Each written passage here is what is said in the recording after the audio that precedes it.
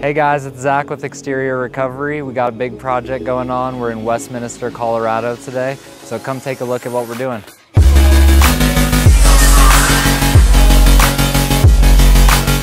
Yeah, we gotta take out more tile here. It's day four here, we're just checking back in. We've got the framing completed. We just started putting in the soffit right now. They're wrapping up the details and the next time you see this, it'll be completed.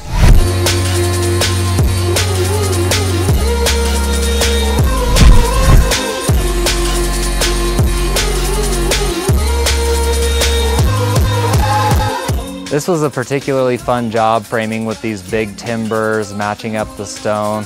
We're stoked on how it turned out.